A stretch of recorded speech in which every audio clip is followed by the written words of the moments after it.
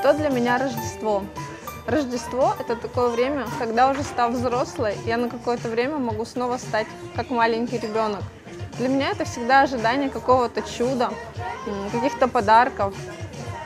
А еще а, Рождество – это время, когда мое сердце может стать немножко больше, немножко мягче. Это время, когда я могу подумать о людях, которые находятся рядом со мной и приготовить им какой-то подарок. А еще это время, когда я, как любой человек, а, понимаю, что я на кого-то сержусь или злюсь и могу просто простить в своем сердце этих людей. А еще это классное время, чтобы побыть со своей семьей, и это не нужен специально никакой повод, это просто время, которое есть. Это время, когда сердце становится мягче и лучше, больше. Это время, когда можно дать другому человеку часть своей любви. Потому что Бог живет в каждом человеке. И во мне, и в тех, кто меня окружает. Доброе утро, церковь! Сегодня последнее воскресенье перед Рождеством, и сегодня мы будем зажигать четвертую свечу Адвента. Эта свеча называется ангельская, и эта свеча символизирует а, пришествие в мир Спасителя и также радость, которую, которая наполняет сердца людей.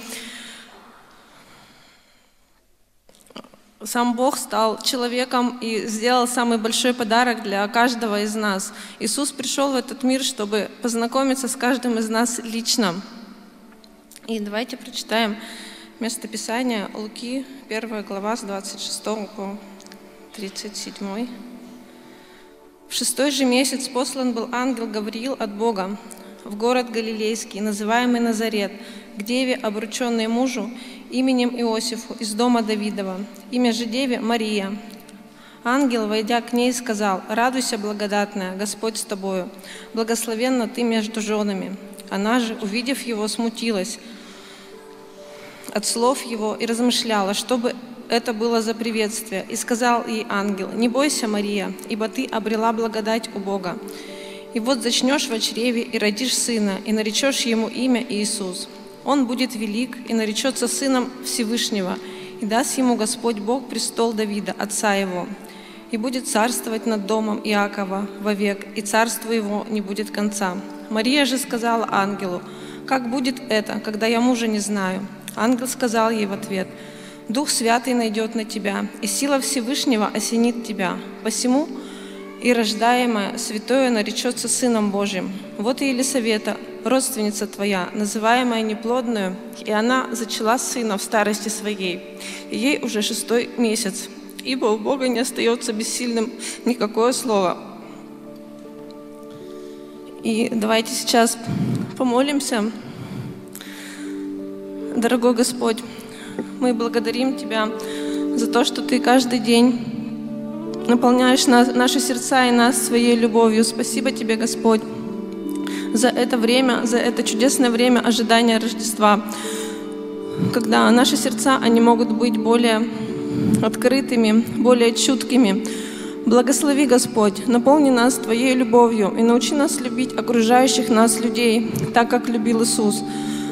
Сделай наши руки руками, которые поддерживают. Сделай наши сердца сердцами, которые всегда любят и никогда не осуждают. Благослови, Господь, нас в эту неделю, и пускай эта неделя, она заложит большой фундамент на всю нашу дальнейшую жизнь и на весь наш предстоящий год. Аминь.